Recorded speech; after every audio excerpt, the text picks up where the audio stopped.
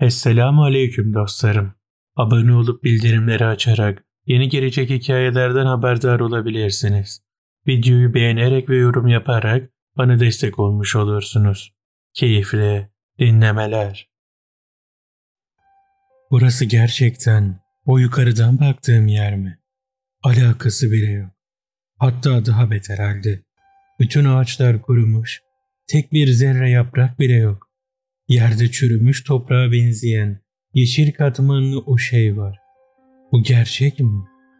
Yerlere doğru bakarken Mamar yanıma doğru ilerledi. İlerideki büyük ağacı görüyorsun Akun.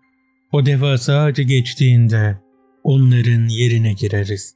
Azabel ormanının asıl tılsımlı başlangıcı orasıdır. Peki buradakiler? Bu ne gösterisidir? Yukarıdan tepeden baktığımız orman yeşillikler içindeydi. Resmen harika bir ormandı. Zuga arka taraftan geldi. Kesinlikle gördüklerin doğruydu Akul. İşte bu yüzden bu ormana girilmesi son derece tehlikeli. Dışarıdan göz yansıması olarak tılsımlar sana harika bir orman gösteriyor. Buranın ne olduğunu bilmesen, dışarıdan baksan ne düşünürsün? Açıkçası bu ormanın içinde huzur bulacağımı, yeşilliklerle dolu. Hatta burada kamp yapmayı bile düşünebilir çoğu Ademoğlu. İşte cinniler de burada bir zarar gelmeyeceğini düşünerek tuzağa düşerdi eskiden. Ta ki her şey öğrenilene kadar. Anladığım kadarıyla azabeller tam bir kurnaz cinniler. Bu yüzden dikkatli olmam gerektiğini sürekli tekrarlamaları da bu yüzden. Yaşımın küçüklüğünden dolayı evhama kapılmamalıyım. Kesinlikle onların sözünden çekmeyeceğim. Özellikle de Razurların. Ön tarafa doğru yürümeye devam ederim dedi. Mamar büyük bir karanlık duman yaydı. Ağaçların etrafından geçeceğimiz sırada çoğu cinli şahine dönüştü ve havaya doğru uçmaya başladılar. Onlar bizim gözlerimiz olacak. Razurlar içeriye girdiğinde çoktan haberini almış olurlar. Azabeller çok kurnaz ve tilkidirler. Sinsilikleri çok fazladır. Tuzakları hazırlamış bizi bekliyor olmalılar. Sonunda ağacın o gövdesinin yanından geçtim. Geçtiğimde gözüm değişti resmen. Ama burası az önceki yer değil ki. Arka tarafa doğru döndüm. Yeşilliklerin ve ağaçlıkların arasından geçtiğimi gördüm. Tılsımlar gözlerine direkt olarak etki eder. Şu anda ormanın tılsımları içerisindesin. Burada gördüklerin her şey bir ayna kırılmasıdır. Sakın unutma. Çok dikkatli olma konusundaki uyarılarımız aslında şimdi başlıyor. Yan tarafındaki ağaca yavaşça elini koy dedi. Büyük ağacın gövdesinin arka tarafına doğru sağ avuç içimi yaklaştırırken bir anda elime dikenler batıyormuş gibi karanlık siyahlıklar öne doğru geldi. Bu ormandaki birçok ağaçta bulunan özel bir tılsımdır. Eğer elini dinlenmek için ya da herhangi bir şekilde bir ağaca koyarsan oradaki dikenler elinin içine girer ve tılsımlar direkt olarak seni bağlar. Elini o ağaçtan bir daha çekemezsin. Ancak senin ruhunu yemeye başlayan bir azabel işini bitirdikten sonra ya yere atar ya da kefenledikten sonra seni taşır. Yüzümdeki korku sanırım anlaşılabilir. Kalbim de korkuyor. Gerçekten, gerçekten böyle bir yere mi girdik? Ve her şeyi başarabileceğimizi düşünerek. İleriden garip sesler gelmeye başladı. Zuga, bizi dinliyorlar. Daha çok sakin kalmalı ve devam etmeliyiz. İlk taş nerede diyerek sordum Amar. İlk taş sol tarafta. Büyük taşın olduğu yere geldiğimizde mağaranın alt tarafından girmiş olacağız. Şansımız varsa ilk mağarada saklanmıştır Yusiller. Eğer orada değillerse bayağı işimiz zor. Arkadaki ikinci kayaya gidene kadar bunlar üzerimize çullanacak. Azabeller geceyi beklemeyecek. İlerlemeye devam ettikçe bacaklarım sanki birbirine doğru dolanıyormuş gibi saçma sapan istemediğim şekilde dizlerim birbirine çarpıyor. Berzah'ın toprağına alışkın değil. Ademoğlu olan ayakları ve dizleri aşağıya doğru çekiyor. Burası çok garip. Dizlerimi ayırmak istiyorum ama birbirine doğru gidiyor. Alemler arasındaki enerji farklılığı. Seni ne kadar buraya adapte etmek istesek de vücudun hızlı şekilde adapte olamıyor. Bir anda arkamdan bir şeyin geçtiğini ve gülme sesinin geldiğini hissettim. Sola doğru ani döndükten sonra Mamar anlamıştı. Buradalar. Çocuğu gözlemlemekten öte rahatsız etmeye başladılar. Razurlar diyerek bağırınca yukarıdan aşağıya doğru dik bir şekilde şahinler inmeye başladı. Belli noktalara inmişlerdi. Sonrasında da etraftaki o sesler azalmaya başladı. Bunların nedenini anlayamadım ama razurları hissedebiliyorum. Belli başlı noktada her biri daha fazla enerji yayıyor. Gözlerimle onları izleyebiliyormuş gibi baktığımda Mamar ilk mağaraya yaklaştık. Hızlı olmalıyız dedi. Öne doğru daha hızlı adımlar atmaya başladım. Açıkçası Mamar'ın yaptığı bu hareketle beraber oldukça rahatlamıştım. Büyük ihtimalle diğer razurlar bizim üzerimize gelen azap elleri oyaladığı için benim üzerimdeki etkileri azalmıştı. Etrafa bakarken en çok dikkatimi çeken şey ise ağaç diplerinde olan insan kemikleriydi. Bunların gerçek olup olmadığını düşünüyordum. Umarım gerçek değildir. Berzaha geçiş bu kadar kolay değildi ama insanları kefenleyerek buraya getiriyorlarsa gerçek de olabilir. Korkum gittikçe artıyordu. Rabbime sığınmalıydım. Sadece İslamiyet için burada olduğumu unutmamalıyım. Babamı kurtarıp buradan çıkmak istiyorum. Yegane amacım bu. Zuga ileride durdu. Arkasını dönerek burası dedi. Taşlar birbirine doğru çarpık şekilde ve kırılmıştı. Aşağıya doğru dökülen taşların ara kısmından geçilebilecek kadar yer var. En azından çok yetişkin olan birisi giremese de ben rahatlıkla girebilirim. Mamar, gördüğün mağaranın girişinin büyük olduğunu biliyorum. Ama onlar çok açıklıkta olanlar. Girebileceğimiz bir nokta varsa burasıdır. Girip içeriye bakalım. Eğer burada bir şey bulamazsak hızlı bir şekilde diğerine geçmeliyiz. Tamam Mamar, bu aradan geçiyorum ben. Araya girdikten sonra aşağıya doğru atlanması gereken bir yer vardı. Aradan aşağıya doğru atladım. Oldukça karanlık, önümü göremiyorum. Fakat Zuga bir anda parlamaya başladı. Vücudunun kenarından yayılan karanlıklar beyaz şekilde ışıldıyor gibiydi. Görüntüsü gerçekten çok büyüleyiciydi. Öne doğru yürümeye başladığımızda duvarda birçok yazı olduğunu gördüm. Bunlar geçmiş zamanlardaki cinnilerin yazıları. Oldukça nadirler. Yazılanlarda ne var? Neler görüyorsun Mamar? Birçoğu öleceğini anlamış ve buradan kaçmanın hiçbir şekilde mümkün olmadığını duvarlara nakşetmiş. Aynı yıllar önce bizim insanlarımızın mağarada yaşadığı gibi. Demek onlar da buraları tutsak edildiğinde böyle şeyler nakletmişler. İleride olanlar var dedi. Zuga'nın bu söylediğiyle beraber Mamar ellerini bana doğru kaldırdı. Avuçlarının içinden iki şahin çıkarak gözleri kırmızılaştıktan sonra omzuma doğru geldi. İkisi de omzuma doğru konduğunda merak etme onlar bir kötü durumda seni koruyacak ve buradan çıkarmakla görevli olan Resullar. İlerlemeye devam ediyoruz. Büyük bir mağaranın içerisindeydik. Etrafa bakıldığında yığınla kemik var. İnsan kemikleri olduğu aşikar. Çok belli. Kuru kafa taslarının birçoğu köşe tarafta ısınmış. Burada yaşayanlar olduğu da belli. Bir ine girdik. İnin içindeyken fazla hareket etmemek gerekli. Buradan çıkmalıyız dedi. Zuga'nın bu söyleminden sonra arkayı dönmemizle beraber arka taraftaki bütün duvarlar birbirine geçer gibi aynı ağaçlardaki karanlık iğnelerle doldu. Bizi tuzağa düşürüyorlar dedi Zuga. Mamar merak etme bunu yapacaklarını zaten biliyordu. Etrafta bir anda yavaşça ateşe benzeyen duvarda yangınlar yandı. Ama bunlar değişik sarımsılardı. Sanki saydam bir ateş. Ateşin içine doğru baktığımda dalgalanan o mavimsi ateşin içindeki kırmızı saydam yangın oldukça koyuydu.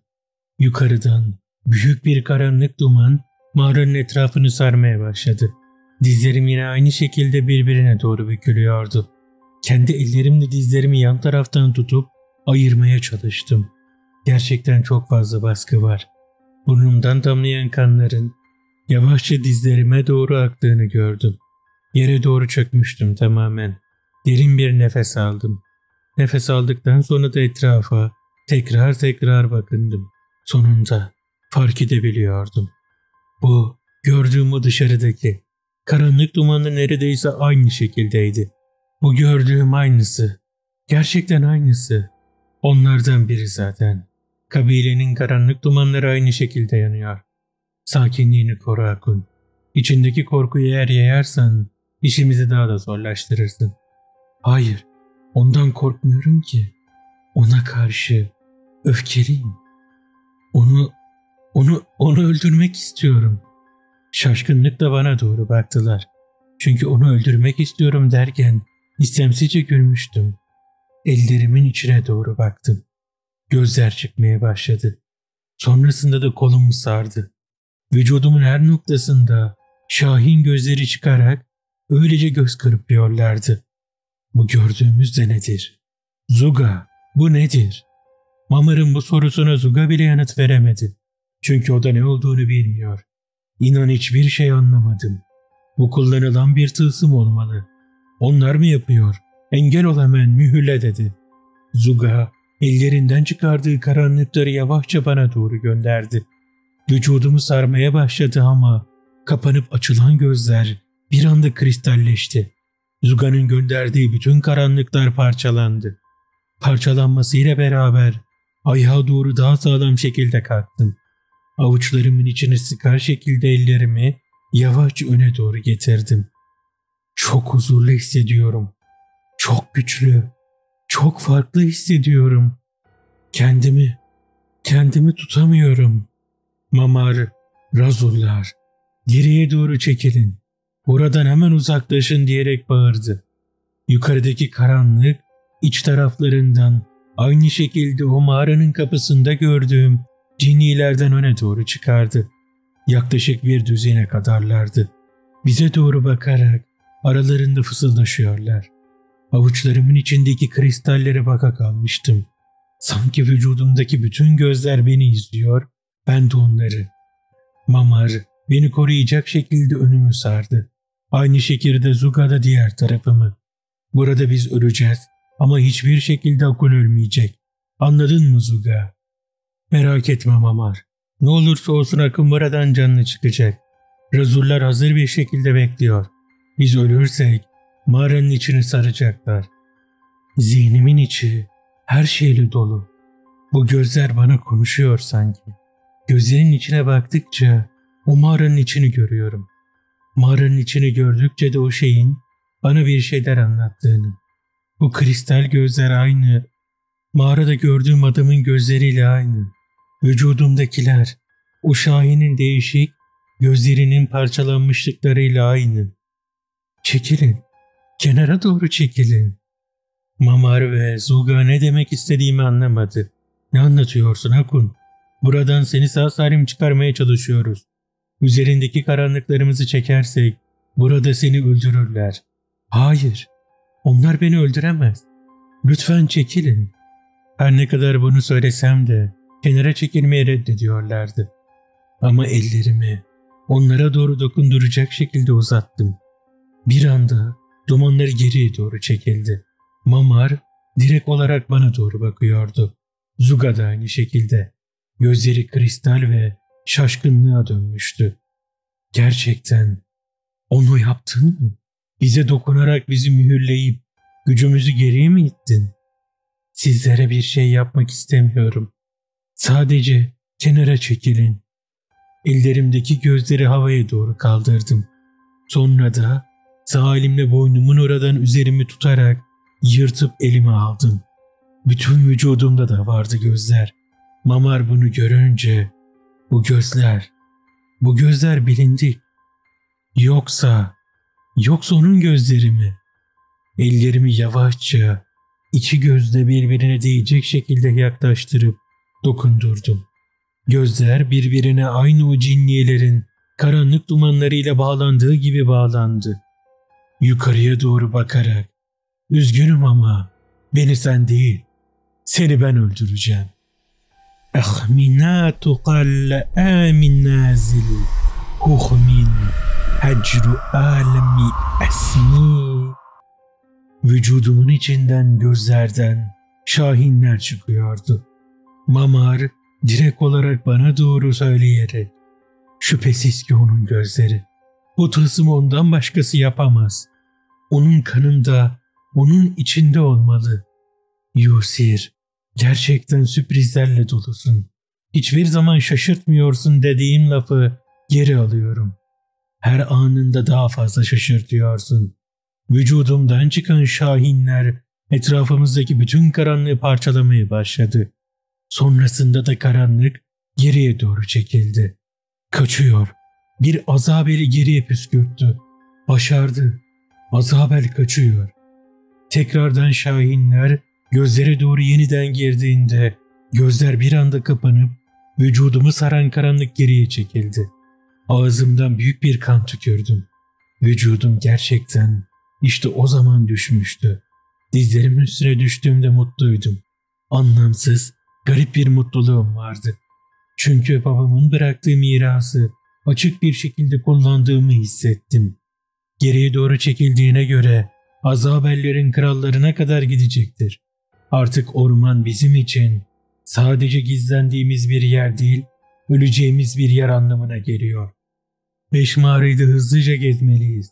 Önümüzü keseceklerdir. Hayır, beş mağaraya gerek yok. Gördüm nerede olduğunu. Kristal gözler bana gösterdi. O zaman yolu göster Akun. Yürümeye başladım ayağa kalkıp. Kolumla beraber ağzımı sildim. Kanı yavaşça yerdeki tişörtüme doğru silerek kenara doğru bıraktım. Üzerime geçirdikleri kaftan keşke üzerimde olsaydı. Çünkü buradaki enerji beni gerçekten şu anda fazlasıyla boğuyor. Ön taraftaki büyük mağaradan çıktık. Arkadaki gizlenerek gelen dikenler mağaranın içerisine doluyordu. Ormanın neresine gideceğimi çok iyi biliyorum. Çünkü bu gözler bana orayı gösterdi. Durmaksızın yürümeye başladığımda dikkatli olman gerekti. Bu kadar alelacele davranamazsın. Etrafta tuzak ve tılsımlar olabilir. Ya da cinniler. Büyük ihtimalle sırtımda açılan o çizgiyi gördüler. Sırtımda bir göz çıkarak Şahin kristalliğini gösterdi. Anlaşılan bize bile ihtiyacı kalmadı. Kendisi hissediyor ve görüyor.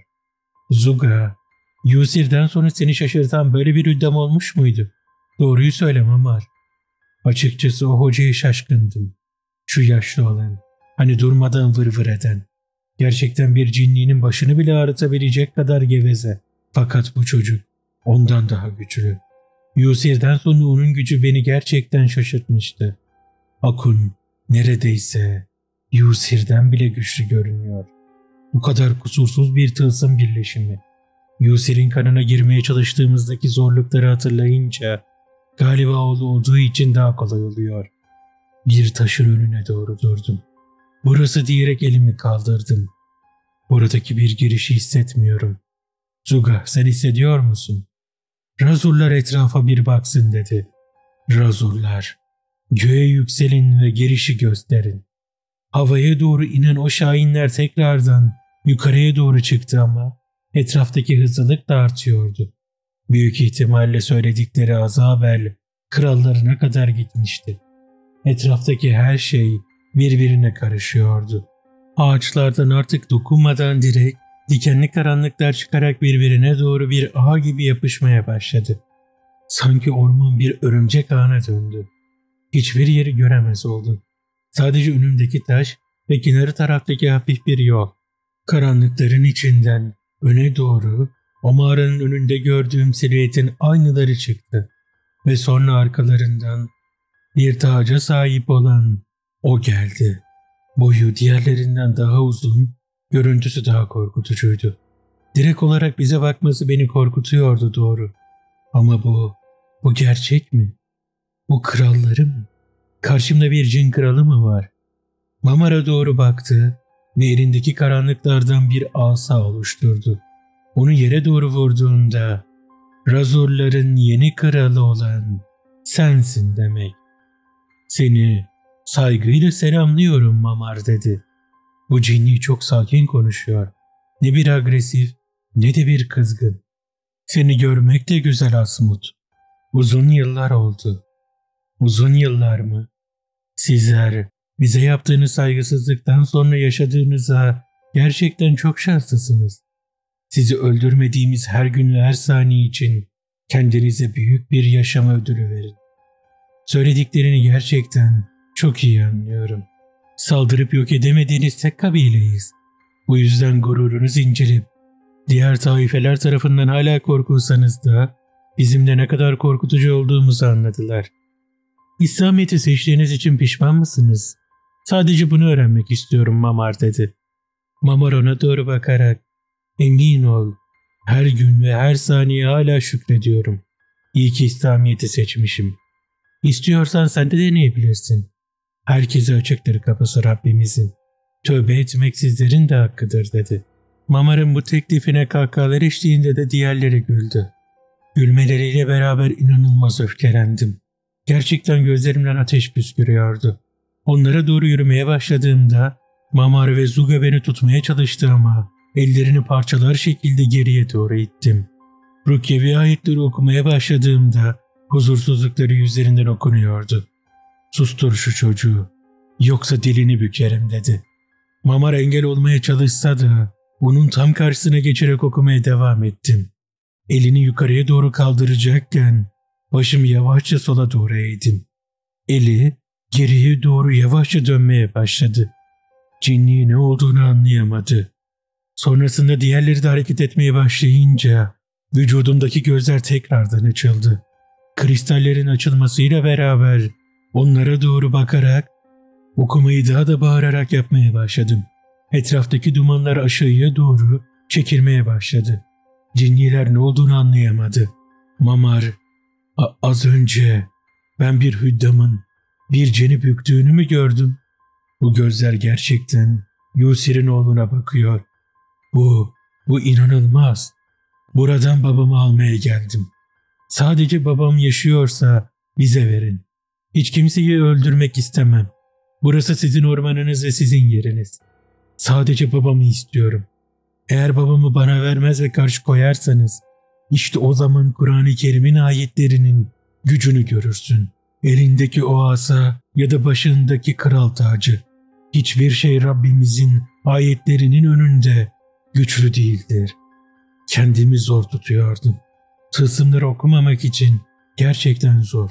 Çünkü onu burada öldürürsem ya da diğerlerine bir zarar verirsem babamı da öldürebilirlerdi. Kısasa kısas uygulanabilirdi. Bu yüzden bana doğru bakarak sadece bunu buraya gelen hiçbir hüddam yapamadı. Bir oğlansın. Daha 14 yaşındasın. Kanının kokusunu alıyorum. Aynı mağaranın içerisindeki gibi. Onu da mağaraya girdiğinde dışarıya çıkartamadık. Anlaşılan gücümüzün yetmediği iki Ademoğlu'yla karşı karşıyayız. Asasını yavaşça yere doğru bıraktı. Kara bir yılan oluştu. Oluşmasıyla beraberdi. Yılanı takip et Hüddam. Seni ona götürecek dedi. Diğer cinniler de şaşkındı. Az haberler. Hiçbir razura dokunmayın. Bırakın yüreğindeki mangal ateşiyle bakalım neler yapabiliyor görelim. Ama ileride karşıma çıkarsan Hüddam, seni böylesine takdir etmek yerine böylesine dedi ve sahirini kaldırdığı gibi karnımın içi bir anda bir avuçla sıkılıyormuş gibi oldu. Ağzımdan hafifçe bir kan geldi. Sonrasında da elini yumruk yaptığı şekli bıraktı. Demek istediğimi anlayacak kadar zeki bir adem olursun dedi ve yürüdü. Yürürken de karanlık dumanlar ağaçlardan çıkarak onu sanki içine çekiyormuş gibi alıp götürdü. Onun gerçekten takdirini kazandın. Asmut kolay kolay böyle bir şey yapacak cinni değildir. Başardın Akun. Sen başardın. Baban seninle gerçekten gurur duyacak. Yusir gerçekten yaşıyor. Ve burada. Bu harika bir şey. Yusir yaşıyor. Kralımız da. Karanlık yılanın hemen peşine doğru düştüm. Ağzımı tekrardan sildikten sonra vücudumdaki gözler kapanarak gitti. Ama bu da bana bir büyük ders oldu. Karşımdakinden güçlü olup onu öldürebileceğimi düşünüyordum. Sadece buna izin vermiş. Eğer isteseydi gerçekten beni burada tek bir hamleyle öldürürdü. Ve bunu da anlamam için gösterdi. Aslında bir kafir cinni. Düşmanım ama resmen bana saygı gösterdi. Yılanı takip etmeye devam ettikçe büyük mağaranın girişine doğru geldi. Ve siyahlıklar oradaydı. İki tanelerdi. Yavaşça yılan öne doğru çıkınca onun gözlerine doğru baktılar ve oradan kaçışıp gittiler. Mağaranın içine doğru girdiğimizde hiç kimse yoktu. Etrafa baktığımızda da nasıl, nasıl olur? Ama mağarada olduğunu hissediyorum dedi. Söyledi. Büyük ihtimalle burada sadece hissiyatını bırakmış. Kendi nerede olduğu belli değil. Üzülme dedi. Gerçekten mi?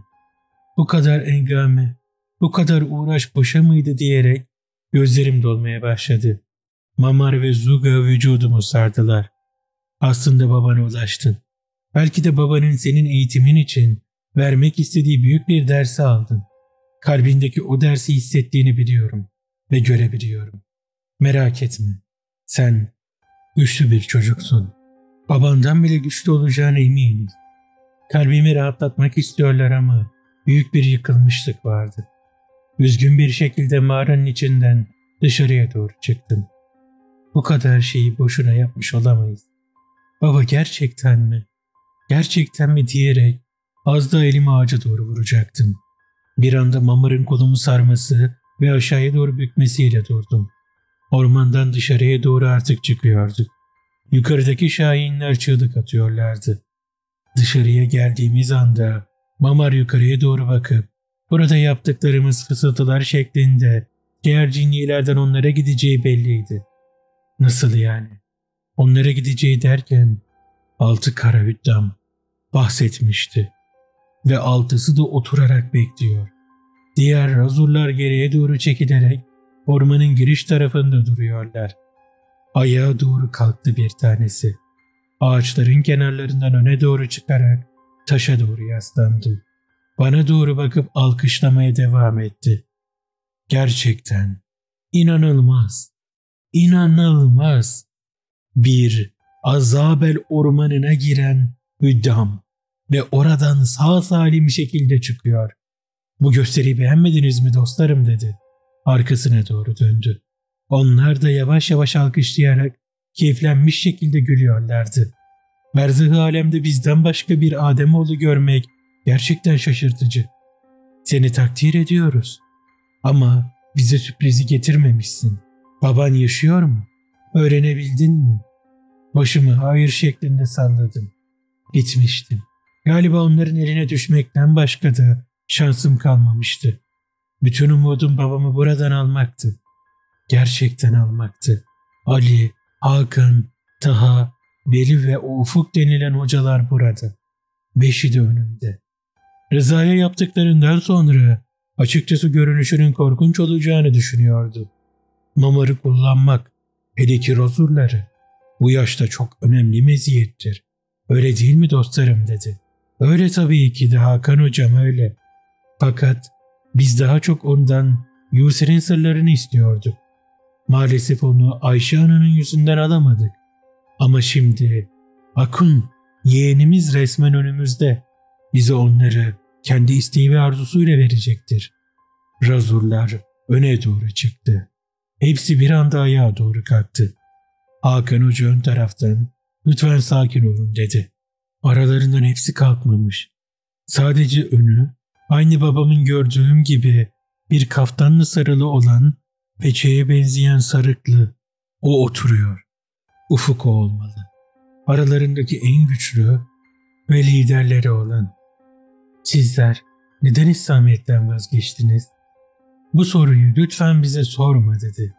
Çünkü Ayşe Hanı'yı bunu anlatmaya çalıştığımızda zevzek zevzek şeyler anlattı.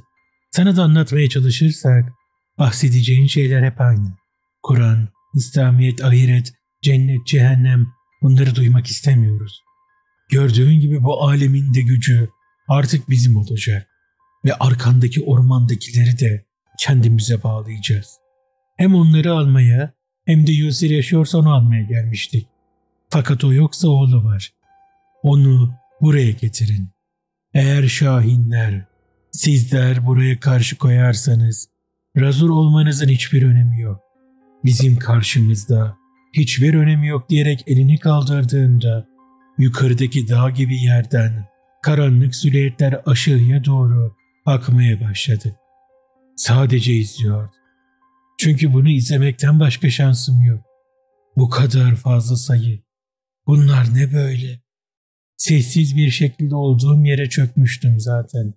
Taşa doğru yaslanır şekilde. Özür dilerim. Benim yüzümden siz de zarar göreceksiniz. Lütfen beni burada öldürün ki sırlarımı alamasın.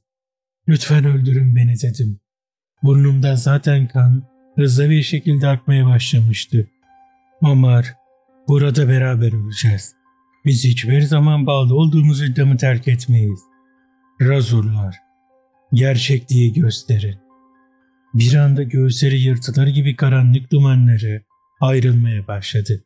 Orta taraflarında büyük bir boşluk vardı. Diğer taraf gözüküyordu. Oradan karanlık dumanlar birbirine doğru dönemeçli şekilde dönmeye başladı. Sonrasında da diğer hüddam da ayağa kalktı. Aşağıya doğru akan cinnileri durduracak şekilde elini kaldırdı. Onlarla berzahta savaşamazsınız. Hala anlamadığınız ve kendinizi geliştiremediğiniz şey bu dedi. Büyük bir karanlık dumanın içerisine doğru girerek bir anda ortadan silindi. Nereye gittiğini anlayamadım. Diğer dört hüddam, sanırım liderimiz şu anda sizi burada öldürmemizi istemiyor. Razurların göğüslerinde oluşan yuvarlıkların ortasında bir göz oluşuyordu. Bütün gelen karanlıklar ve sayıca fazla olanlar onlar dört hüddamın arkasında durdu. Haydi geri dönüyoruz Hakan dediğinde arkalarından bir tanesi hayır şeklinde başını salladı. Onun sözünden çıkmaman gerekiyor. Eğer onun sözünden çıkarsan başına gelebileceklerden emin olmalısın. Merak etme. Başıma ne geleceğini biliyorum. Devam edin cinniler. Onları kasıp kavurun. Razurlar. Hiçbir sınırlamanız olmayacak dedi. Razurlara bunu söylediği anda Şahin sesleri vücutlarından çıkarak dağıldı. Öne doğru giden karanlıkların hepsi bir anda parçalanmaya başladı. Razurların göğüslerinde oluşan o şahin gözleri kristalleştikçe önündekiler bükülüp parçalanıyordu. Gitmemiz lazım buradan Hakan. Saçmalıyorsun dedi. Saçmaladığım falan yok. Küçük bir çocuğu da öldüremeyeceksek neden o zaman bu yola baş koyduk? Babasını yok etmeyi başarmışız. Çocuğundan mı kaçacağız? Bırakın bu velidi öldürelim. Ne anlar ki zaten o? Sürekli geriye kaçıp duruyor. Artık beklemekten sıkıldım. Kapıların efendisi olacaksak artık onun soyundan yaşayanı da yok etmeliyiz dedi. O kadar öfkeli ve bencil konuşuyor ki diğer hüddamlar da birbirine baktıktan sonra tek başınasın Hakan. Onun sözünden çıkmayacağız. Çocuğu öldürmeye başarıp geri dönsen bile onun planına sadık kalmadığın için kendin de ölebilirsin dedi. Onu öldürdükten sonra bütün razurları kendime bağlayacağım dedi. Arka taraftaki diğer kalan üç kara hüddam da karanlık dumanların içine doğru çekilerek gitti. Razurlara doğru saldıran bütün karanlıklar parçalanarak yok oluyordu. Etraftaki diğer cinniler de üstümüze doğru gelmeye başladı. Razurlar her ne kadar güçlü olsa da o göz formu yavaş yavaş bozuluyordu. Sayıları çok fazla. Erzahta olduğumuz için biz ne kadar güçleniyorsak onlar da güçleniyor. Diğer taraftaki bütün karanlığı da çağırmışlar. Kendilerine ait olmayan birçok taife de burada. Bizi sevmeyen ve yok etmek isteyen. Dayanmaya devam etmeliyiz dedi. Zuga bunu söylese de Mamar belli bir süre daha dayanacağız. Buradan çıkarmalıyız. Akun'u derhal buradan alıp götürmeliyiz. Bunu bir yere götürmenize izin vermem. Burada öleceksiniz. Karanlıklar daha da yukarıya doğru çıkmaya başladı. Çıkmasıyla beraber de kaçacak bir yol kalmamıştı. Razulların hepsi etrafıma doğru geldiğinde bir anda öne doğru kusarmış gibi kan ağzından gelmeye başladı. Ne olduğunu anlayamadım. Birisi sanki onun içinden organlarını çıkarıyor gibiydi. Sonrasında da yavaşça boğazından boğulurmuş gibi yukarıya doğru kalkmaya başladı. Elleri arkaya doğru döndü. Ayakları bir anda çatır çatır ederek kırıldı. Açık bir şekilde gördüm kırıldığını. Ayaklarının dönmesini, sonrasında da kollarının. Hatta Mamar bunu sen mi yapıyorsun diyerek sordum. Hayır ben yapmıyorum. Hatta bunu kimin yapabileceğini biliyorum ama bu gerçek olabilir mi? Yukarıdaki büyük yükselen karanlıklar bir anda parçalandı. Hepsi silindi. Devasa bir rüzgar karanlığa doğru gitmeye başladı. Arkamızdan esen bu rüzgar yüzünden elimi yukarıya doğru kaldırarak yüzümü korumaya çalıştım. Direkt olarak kolumla suratımı sardım. Bu rüzgarda ne böyle? Neler oluyor? Rüzgardan dolayı kolumu kaldıramıyordum yüzümden. Ama etraftaki bağırışmayı duyabiliyordum. Resmen o ön tarafta duran Hakan denilen kara hüddam acılar içinde bağırıyordu. O kadar fazla bağırıyor ki sesi gerçekten kulaklarımı tırmalıyor. Kemiklerinin kırılışının her bir sesini alıyorum. Net şekilde duyuyorum. Hiçbir kemiği kalmadı neredeyse. Bütün kemikleri kırıldı. Yere doğru düştüğünün sesini aldıktan sonra yavaşça başımı kaldırdım. Etrafa bakındım. Hiçbir karanlık yok. Öylece ön taraftaki taşın üzerinde ölmüş bir şekilde gözleri yukarıya doğru kayıp bembeyaz akı kalmış. Mamar, Zuga, neler oluyor? Yanıma doğru baktığımda bütün razorlar şahinleri omuzlarında olacak şekilde dizlerin üstüne doğru çökmüş öylece duruyorlar. Havada kanatlarını çırpan bir şahin var ve arka taraftan ellerini yavaşça indiren o yüzü sarıklı olan gözleri kristalleşmiş yeşilli adam duruyor. Baba sen misin? Ön taraftaki şahine doğru bütün razorlar aynı anda bağırdı. Kuntoru, kralımız. Beni dinlediğiniz için teşekkür ederim dostlarım. Rabbim ettiğiniz duaları kabul eylesin inşallah. Videoyu beğenerek bir yorum yaparak bana destek vermiş olursunuz. Rabbime emanet olun. Esen kalın dostlarım.